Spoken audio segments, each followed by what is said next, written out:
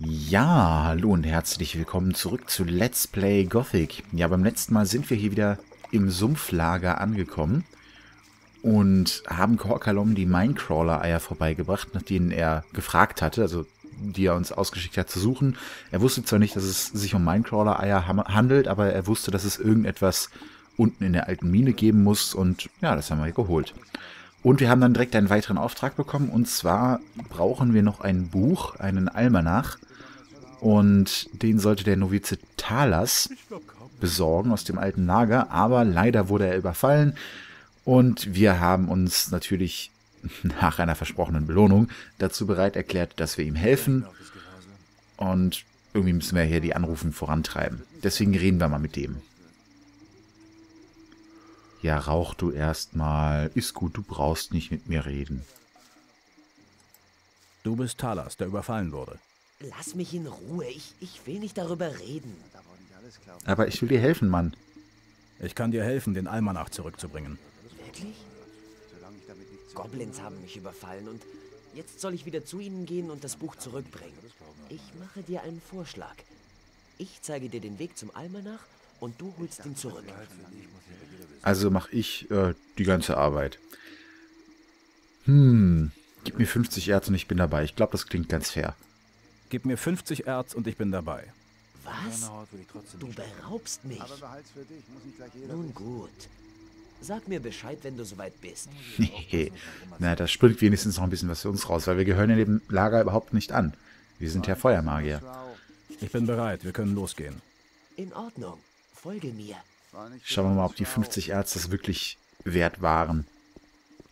Ich weiß gar nicht, ob irgendetwas anderes passiert, wenn wir nur auf 30 Erz bestehen.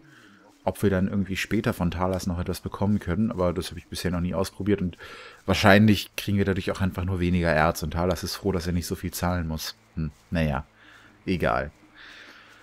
Ah, naja, anscheinend bleibt die ganze Drecksarbeit mal wieder in uns hängen, aber das sind wir ja schon gewöhnt. Das ist irgendwie anders, kennen wir es ja gar nicht aus dieser Kolonie. Deswegen machen wir es einfach. Ich meine, es gibt vielleicht auch ein bisschen gute Erfahrung, vielleicht finden wir auch nette Gegenstände. Ich meine, wenn die Goblins so Novizen überfallen und ihm ein Buch klauen, wer weiß, was die dann sonst noch so in ihren Höhlen versteckt haben. Hm? Schauen wir mal. Tja, da kann ich dann die Windfaust auch nochmal ausprobieren, die ja so gut funktioniert hat das letzte Mal. Wobei, da hätte ich vielleicht vorher das Mana aufladen sollen. Ich glaube, ich habe aktuell nur 5 von 32, ne? Das ist nicht so viel. Aber egal. Ich habe ja immer noch mein treues Schwert und ich glaube, das wird hier auch gute Dienste leisten. Hm, jetzt ist natürlich nur die Frage, wo wurde er von den Goblins überfallen? Es muss ja irgendwo zwischen dem alten Lager und dem Sumpflager liegen. Und da gucken wir mal. Solange es nicht im Wald beim Schattenläufer ist. Wobei dann wäre Talas wahrscheinlich auch nicht in der Lage gewesen, zurück ins Sumpflager zurückzukehren. Zurück, zurückzukehren, genau, ist klar. Wie auch immer, ihr wisst, was ich meine. Boah, es ist noch weit. Ich muss mal, ich will ein Eis. Ich habe Hunger. Talas, mach mal was.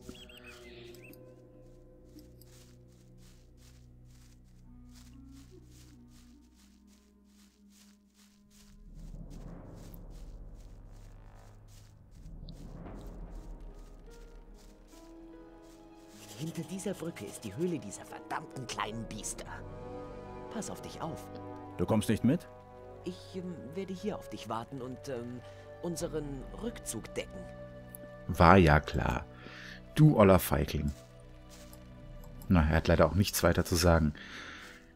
Oh, da seht ihr sie schon. Da hüpfen sie rum. Ich glaube, ich möchte einmal meine Lebensenergie auffüllen. Da fehlen uns 32. Mal gucken, ob ich das gut auffüllen kann. Noch einfach zwei Höllenpilze, dann haben wir schon mal 12 und dann brauchen wir noch einmal 20. Dann können wir einfach zwei Waldbeeren nehmen, dann haben wir wieder volle Lebensenergie. Vielleicht sollten wir auch Mana mal aufladen. Was haben wir denn überhaupt? Steinwurzel, Rabenkraut, mhm. Blutbuchensamen. Na, wirklich viel fürs Mana aufladen gibt es ja nicht. Aber wir haben ja auch Tränke bekommen von Korkalom. Allerdings stellen die direkt 70 Mana wieder her. Das ist ein bisschen eine Verschwendung. Die Essenz magischer Energie könnten wir dann eventuell mal verwenden. Aber, naja. Ich glaube, dann starte ich immer den Kampf irgendwie mit dem Feuerball. Wobei, vielleicht sollte ich auch einfach reinrennen. Denn das große Problem ist, dass diese Viecher sehr gerne mal hier von der Brücke runterfallen. Und dann kann man sie nicht mehr richtig looten meistens. Hm. Ja gut, ich habe gespeichert. Ich renne jetzt einfach mal da rein und versuche die mal so ein bisschen von der Brücke wegzulocken. Ja, ja, ja, ist ja gut. Ich meine, wir haben ja schon mal gegen die gekämpft. Es sollte eigentlich kein großes Problem sein. Eigentlich. Ja. Wunderbar. Die geben auch gute Erfahrung. 120 pro Goblin? Ja, das war ja kein Problem. Ich weiß gar nicht, was, was Talas da hat. So, ich glaube, wir können die nach wie vor nicht ausnehmen. Wir können nur die ganzen Nagelkeulen mitnehmen. Wahrscheinlich lohnt sich das überhaupt nicht. Aber naja, egal. So, ich speichere nochmal. Denn das waren bei weitem nicht alle Goblins. Nein, nein. Ich möchte einmal demonstrieren, wie viele Goblins hier in dieser Höhle hausen. Deswegen gehe ich da einfach mal rein. Und dann demonstriere ich euch auch, dass obwohl die Goblins nicht viel drauf haben, man hier doch sehr schnell drauf gehen kann. Ja, hier sind zwei. Das ist ja noch nicht viel. Da kommen welche an. Ups, ich wollte eigentlich nach rechts abbiegen. Egal. Na kommt. Kommt mal hinterher. Was denn jetzt? Sind die jetzt nicht mehr aggressiv? Nö, die haben jetzt die Jagd aufgegeben, oder wie? Ja, kommt. Ja, kommt. Da sind noch mehr. also man sieht hier schon so eine ganze Meute drin. Irgendwie hatte ich in Erinnerung, dass das noch mehr sind. Aber vielleicht habe ich auch einfach die von vorne noch mit in Erinnerung gehabt. So, wenn ich jetzt einfach die mal mich angreifen lasse. Wobei. Irgendwie schrumpft meine Lebensenergie nicht wirklich. Hm. Ich hatte das hier wesentlich schwieriger in Erinnerung, muss ich gestehen. Aber da muss ich jetzt noch nicht mal laden. Da kann ich ja einfach die jetzt hier einmal fertig machen. Die haben ja überhaupt nichts drauf. Ich wusste gar nicht, dass die Feuermagier-Robe wirklich so stark ist. Krass. Weil normalerweise ist ja man ja zu diesem Zeitpunkt eigentlich... Da kommen ja immer mehr. Hm, haben die sich wohl versteckt. Äh, normalerweise sollte man ja zu diesem Zeitpunkt... Level up. Ich komme einfach nicht dazu, diesen Satz zu beenden. Ich lasse mich immer wieder ablenken. Also normalerweise sollte man ja schon in der Gilde oder in dem Lager, dem man sich angeschlossen hat, aufgestiegen sein. Das heißt, entweder Gardist oder halt eben Feuermagier im alten Lager. Im Sumpflager dürfte man schon Templer sein und im neuen Lager zum Söldner aufgestiegen. Von da hinten sind sogar noch mehr. Wo sind die denn alle geblieben? Ich wollte eigentlich so eine riesige Meute hinter mir her haben, die mich dann umkreisen und fertig machen, aber irgendwie hat das nicht so richtig geklappt. Na toll. Also nicht, dass ich mich jetzt beschweren würde, aber irgendwie... Ich will euch ja auch so eine kleine Show bieten hier. also ich hatte mit denen auf jeden Fall schon mal wesentlich mehr Probleme als jetzt. Oh, bist du alleine? Komm, ich schick dich zu deinen Freunden. Dann könnt ihr alle im Goblin-Himmel oder in der Goblin-Hölle, je nachdem, ähm, euer Unleben weiterführen. Oder ihr kommt als Zombie-Goblins zurück. Das wäre doch mal was, Zombie-Goblins hier. In der Kolonie. Warum denn nicht? So, haben wir hier noch irgendwelche schönen, schönen Gegenstände? Nö, haben wir nicht. Na gut. Das speichere ich mal eben ab. Und dann gucke ich mir auch noch mal an, wie das hier unten beim Fluss aussieht. Ah, hier scheint aber nichts weiter zu sein. Also man, man kann irgendwie schon noch versuchen, die irgendwie zu bekämpfen, aber das Problem ist, wenn die in den Fluss fallen, kommen die meistens nicht so richtig da raus, weil sie eben Probleme haben, äh, hier dieses Stück Land zu kommen und dann hier hochzuklettern. Und im Wasser können wir halt auch nicht mit dem Schwert kämpfen. Das heißt, man müsste sie irgendwie im Fernkampf erledigen und das ist alles nicht, nicht ganz so einfach von hier aus. Deswegen ist das ganz gut, dass ich einfach über die Brücke gerannt bin. Ups, falsche Taste über die Brücke gerannt bin und... Na, kletter. Kletterst du jetzt bitte mal hoch? Vielleicht fällt es dir hier einfacher. Ja, okay, das war einfach zu hoch für dich. Haha. Na gut. Das ist immer schlimm, wenn man, wenn man neben den Let's Plays noch andere Spiele privat spielt und dann beispielsweise die Sprungtaste auf der Leertaste ist und dann fängt man Gothic an und da zieht man mit der Leertaste das Schwert. Das ist ein bisschen doof. Muss man sich erstmal wieder umgewöhnen. Aber es sind, glaube ich, wirklich solche First World Problems. First, First World Let's Player Problems. Oh Mann. Naja, dann schauen wir mal an, ob die Goblins hier auch irgendwie was Schönes sich noch geraubt haben. Das sieht irgendwie nicht so aus. Hier gibt es nur feuchte Wände und Pilze. Hm. Aber, aber ich will doch Loot haben. Na, ein Trank? Ist das ein normaler Heiltrank? Ja. Ich glaube, das war sogar ein Elixier heilender Kraft, oder? Ne, wir hatten vorher schon drei davon. Dann war es irgendwie ein Essenz heilender Kraft. Hm, ein wenig enttäuschend. Aber ich möchte auch mal schauen, wie viel Erfahrung brauchen wir noch? Ah, noch ordentlich bis zum nächsten Level. Ich meine, ich weiß gar nicht, wie viel Erfahrung wir brauchen, um jetzt die Stufe 13 zu erreichen. Aber die Goblins hier dürften uns ja gut was gegeben haben. Ich meine, jeder von denen bringt irgendwie 120. Und das waren vielleicht zwei Dutzend, wenn nicht mehr. Das dürften schon, na gut, die meisten sind schon despawn, aber das dürften schon so gut 2.000 bis 3.000 Erfahrung gewesen sein. Wahrscheinlich sogar noch mehr. Eine Fackel. Wir brauchen noch keine Fackel mehr. Naja. Eine Spruchrolle. Und Hauptsache Bier, natürlich. Aber alles schön hier an der Wand angeordnet. Irgendwie ganz dumm sind die Goblins ja nicht. Gucken wir mal in die Kisten rein. Und da haben wir in den Almanach. Also, ich meine, die Goblins scheinen ja hier so einen kleinen Lagerraum zu haben mit den Kisten. Das ist schon Zeichen intelligenten Lebens. So, Almanach. Dieses uralte Zauberbuch enthält eine Reihe magischer Formeln, die sich, auf, die sich alle auf die Verwendung sogenannter Fokussteine beziehen. So, nehmen wir mal alles mit hier noch. Ich hoffe mal, dass ich die andere Kiste aufbekomme.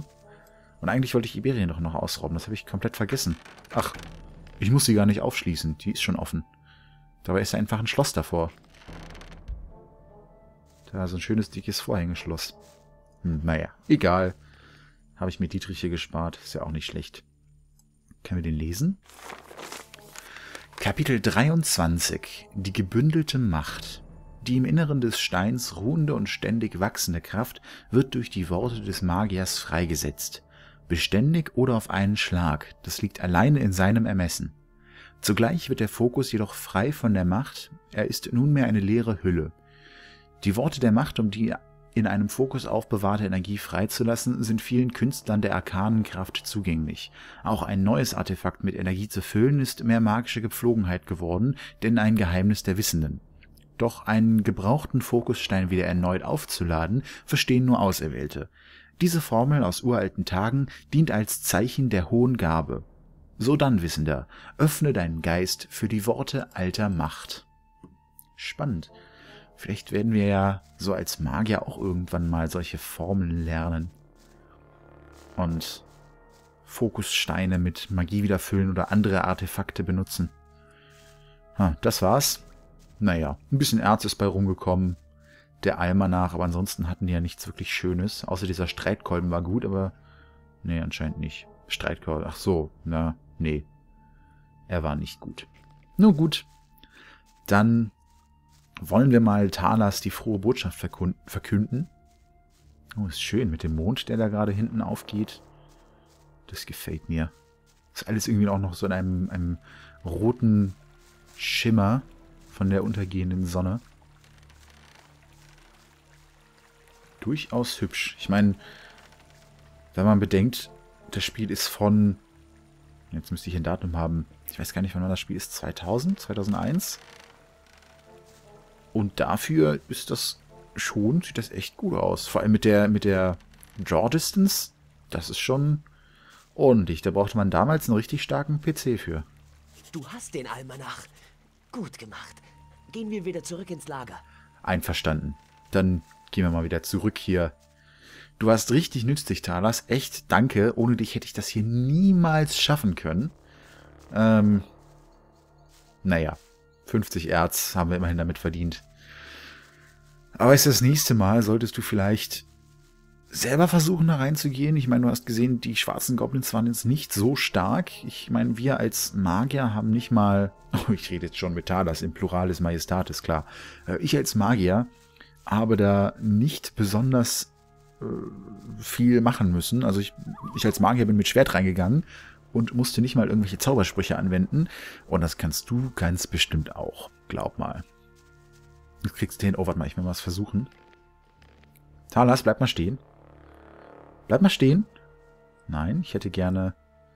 Habe ich nicht die Windfaust ausgerüstet? Nee, ich habe die Rune nicht ausgerüstet. Warum das denn?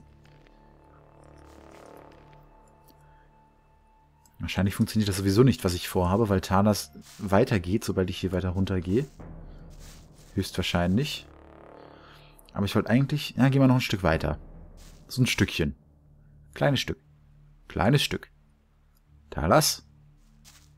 Noch ein kleines Stück. Na komm. So. Jetzt musst du aber bitte stehen bleiben. So, ich hoffe, das funktioniert. Upp. Oh. Wirklich weit fliegt er ja nicht. So, dann noch irgendwo hier noch irgendwas, was Mana wiederherstellt. Na, nicht die Blutbuchensamen, die stellen nur fünf wieder her. Eine Steinwurzel. Flupp. Der fliegt aber auch echt nicht weit, ne? Nein! Du sollst stehen bleiben. Ich möchte dich in den Fluss schubsen. Bewege ich ihn damit überhaupt vor... Ja? Ein bisschen. Und tschüss. ja, der ist jetzt wohl weg.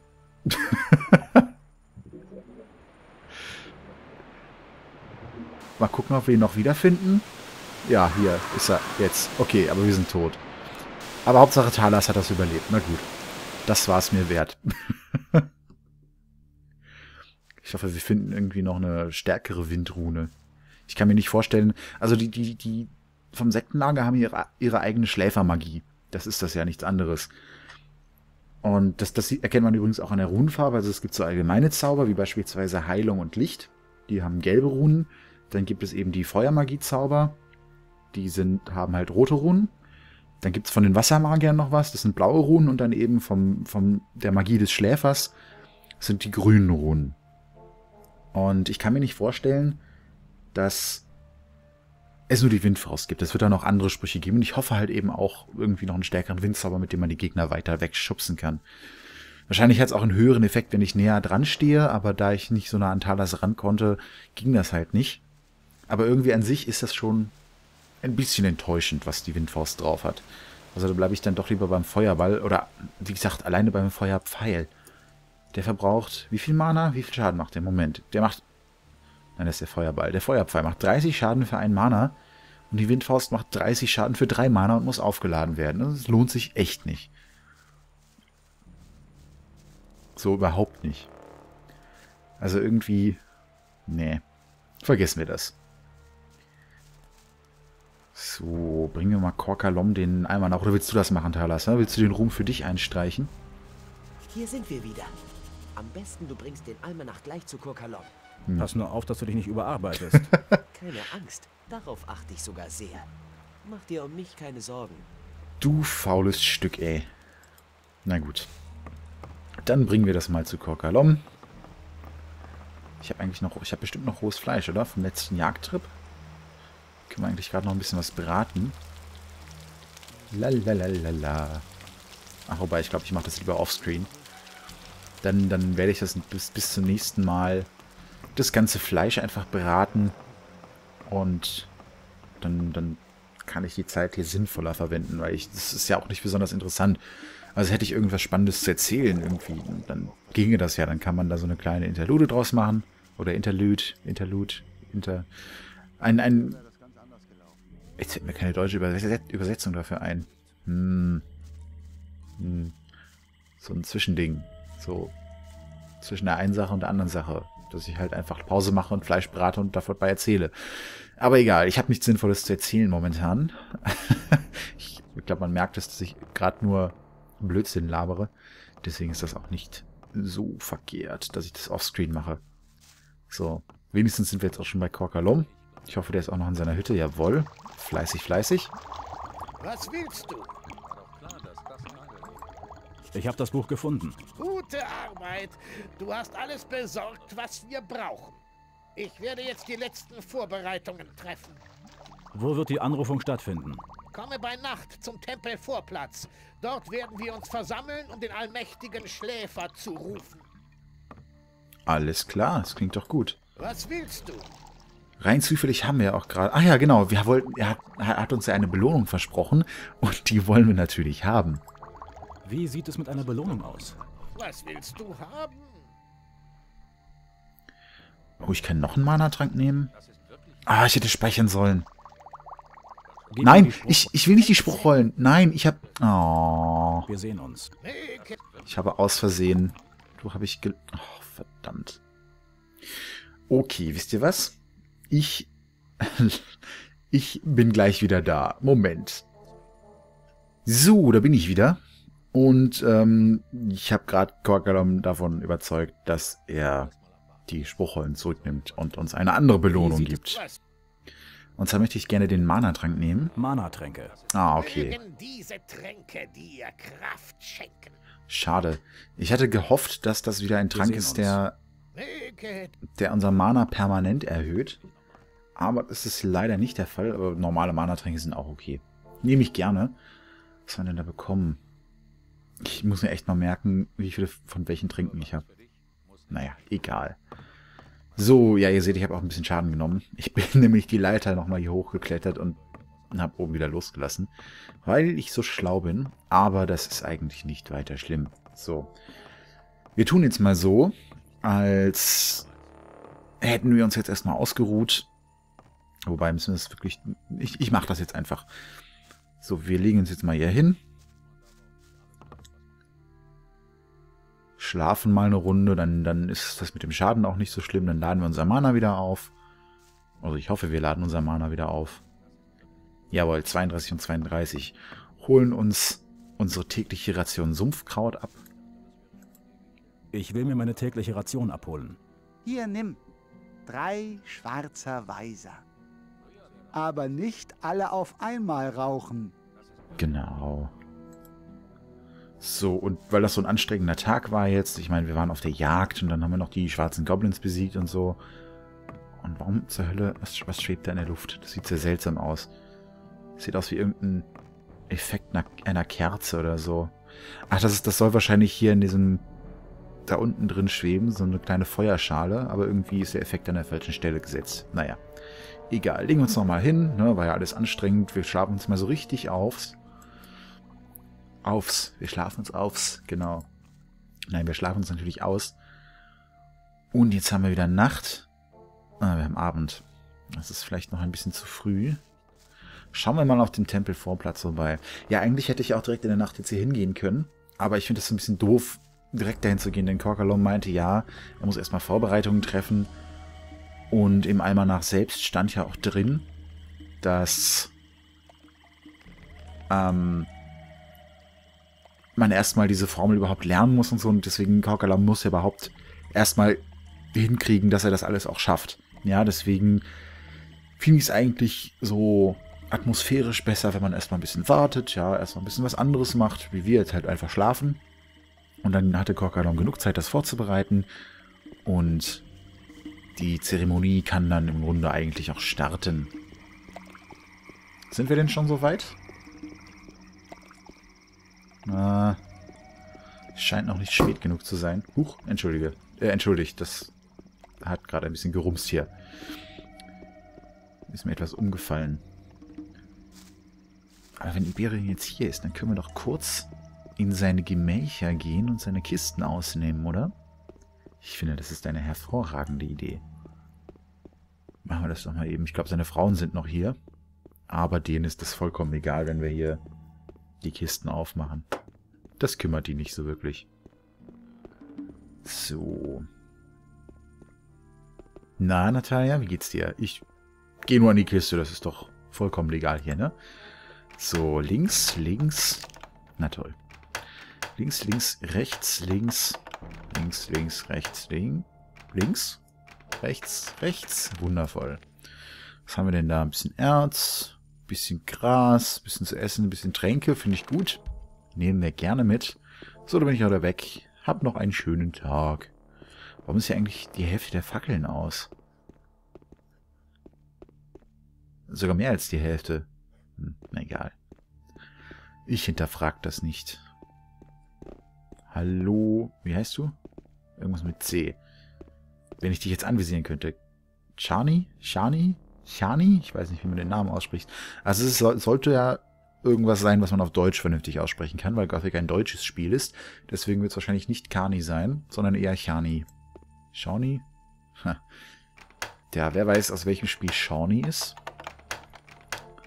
Wenn ihr das wisst, dann habt ihr einen guten Spielegeschmack. Links, links, rechts, links, rechts, rechts, links, links. Wundervoll. Okay, es ist genau das gleiche wie gerade eben, bloß ein bisschen mehr davon. Da beschwere ich mich nicht drüber. So, haben wir hier im letzten Raum auch noch eine Kiste? Tatsache. Link, nein, rechts, rechts, links, rechts, links, rechts, links, rechts, links, rechts. Natürlich. Ganz am Ende ist dann kein Links mehr. Rechts, links, rechts, links, rechts, rechts. Ui, da haben wir nochmal ordentlich Erz. Die nehmen wir gerne mit. Und auch die, Magan äh, die, die Magantränke, die Magietränke nehme ich auch gerne mit.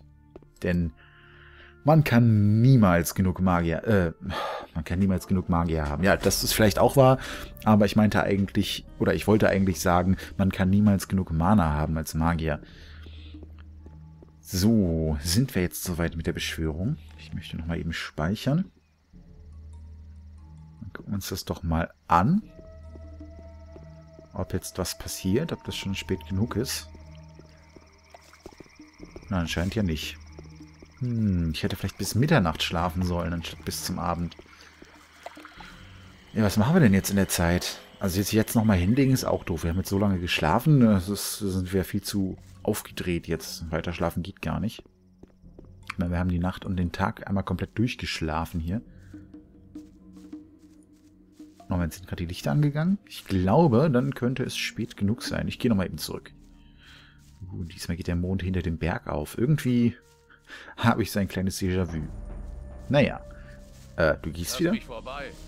Du bist doch schon längst an mir vorbeigegangen. Entscheide dich mal. Aha, ja, jetzt sind die Lampen hier an. Das könnte äh, der Moment sein, auf den wir gewartet haben. So, gucken wir mal, wie die Anlauf Anrufung läuft. Die lange Zeit des Wartens ist nun endlich vorbei. Durch seine unermessliche Macht hat uns der Schläfer an diesen Ort geführt, um sein Erwachen zu bezeugen. Das Artefakt, das er uns in einer Vision zeigte, wird unsere geistige Kraft bündeln. Ihr habt euch lange auf diesen Moment vorbereitet. Vereinigt eure Gedanken, auf dass der Schläfer uns erhört. Denn sein Weg ist der Weg der Freiheit. Und wir sind seine Auserwählten. Der Schläfer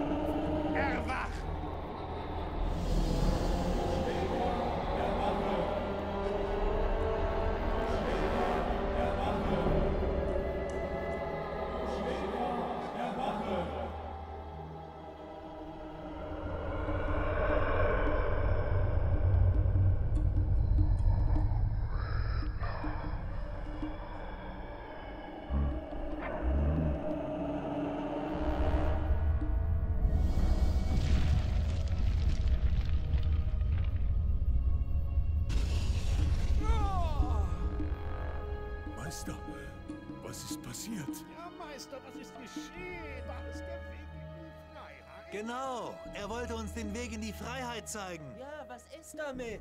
Was hast du gesehen? Ruhe! Klar ist, der Weg in die Freiheit führt über die Orks. Der Schläfer hat uns einen Ort gezeigt und den müssen wir finden. Nicht weit von hier ist der Eingang zu einer Orkhöhle. Dort fangen wir an zu suchen. Der Schläfer ist mit uns. Was soll das heißen? Sollen wir gegen diese Monster kämpfen? Euch hat der Schläfer nicht zum Kämpfen berufen. Ihr Novizen könnt für uns beten. Ja, damit haben wir endlich das zweite Kapitel hinter uns gelassen. Äh. Äh. Verdammt, ich habe den Titel des Kapitels nicht gelesen. Ich glaube, der Titel des Kapitels ist Artefakte uralter Macht. Aber das könnt ihr dann selbst ja nochmal sehen, indem ihr im Video zurückspult und so. Ja, das sind doch interessante Geschehnisse, die hier passiert sind, die hier geschehen sind, wie auch immer. Interessante Ereignisse. Also der Schläfer scheint tatsächlich eine, eine Entität zu sein, die Visionen schicken kann. Also es scheint alles nicht nur sich um Hirngespinste hier zu handeln, was die machen. Ja, also Sektenspinner, vielleicht sind es doch nicht so sehr Spinner. Außer natürlich irgendwie Iberion hat da Taschenspielertricks betrieben, aber eigentlich hm, wahrscheinlich eher nicht. Kann ich mir nicht vorstellen. Naja, wir werden sicherlich mehr herausfinden in der Zukunft. aber ich würde sagen, ich, das ist ein, ein schönes Ende für diese Folge. Es ist zwar nicht so ein starker Cliffhanger, also empfinde ich jetzt jedenfalls, aber na, ihr könnt gespannt sein, wie es weitergeht. Ich bin es auf jeden Fall auch. Und ja, ich würde sagen, wir sehen uns dann in der nächsten Folge wieder. Und bis dahin, macht's gut.